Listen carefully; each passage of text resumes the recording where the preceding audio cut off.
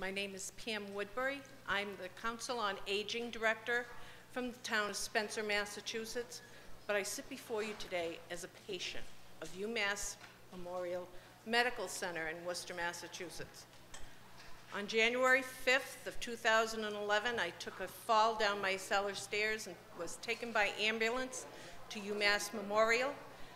Uh, They couldn't perform, perform surgery that night, but surgery was performed on January 13th, 2011.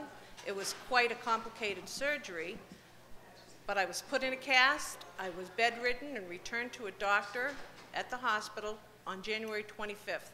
At that time, it was noticed that I had an infection, and I was told it was a hospital-acquired infection. I was put on antibiotics. Two weeks later, the antibiotics weren't working.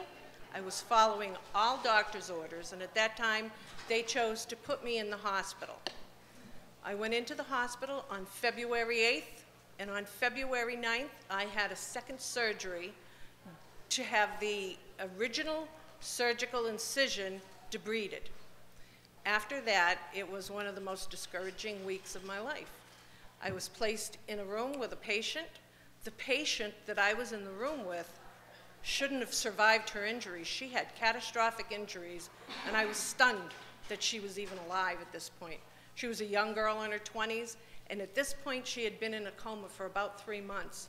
She was now conscious, but unfortunately, she weighed about 100 pounds or less. She was totally bedridden, totally, totally dependent on the nursing staff. One night, I was sound asleep and I was awoken by her crying. I couldn't help her, and I asked her what the problem was, and she said she had rung the bell for the nurse an hour before, and she was on the bedpan and she couldn't get off, and she was in agony.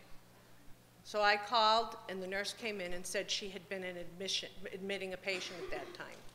The next incident happened seven days later when I was getting ready for discharge the night before. An elderly woman, 87 years old, came into the room as my next patient. She had a broken hip. She was scared, she was frightened, she was in pain. The nurse was in and out of that room all night.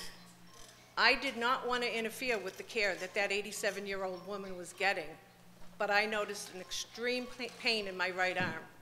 When I looked down, my arm was swollen, red, itchy, and the most excruciating pain I had ever felt. I had vancomycin infiltration into all the tissue surrounding my IV. The nurse then took care of my, me and immediately went back to her.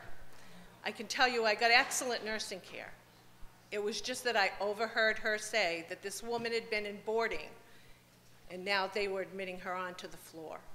She was running in a million directions. So it doesn't even address the fact that I had to pay all the copays. And I take care of senior citizens for a living. And some of them can't afford those copays. I'm lucky enough to write a check. And I'm here today to tell you that as a patient and as a COA director, who my responsibility is to take care of senior citizens, is to tell you I have to emphasize the need for this Patient Safety Act. It's the right thing to do, it's needed, and it's our moral obligation. And thank you for hearing me this afternoon.